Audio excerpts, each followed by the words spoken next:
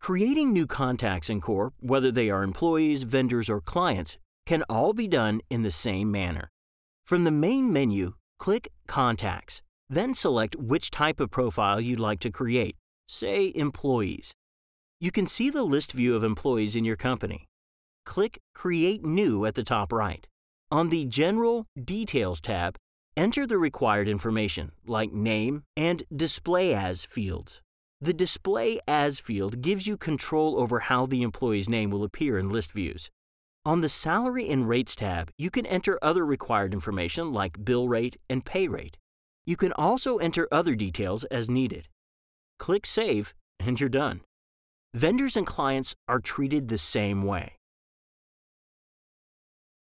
For a shortcut, from the Contacts menu, just click the plus sign to add a new employee, vendor, or client, and the Create New screen will open right away. That's it. Creating new contacts in Core is a snap.